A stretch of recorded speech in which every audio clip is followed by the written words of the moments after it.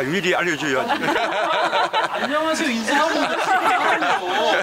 네, 안녕하세요. 감사합니다.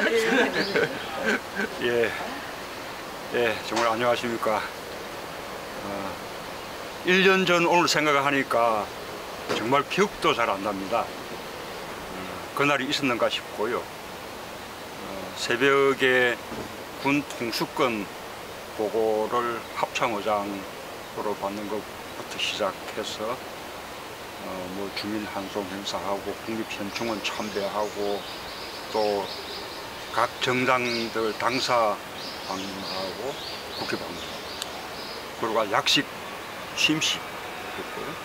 그날 어, 음- 정식 업무를 시작하는 그런 업무 개시식도 하고 뭐 국무총리, 비서실장 뭐 이런 중요한 분들 인사 발표도 밤에는 트럼프 대통령 축하 전화까지 이제 숨가쁜 하루를 보냈는데 어느덧 1년이 됐습니다.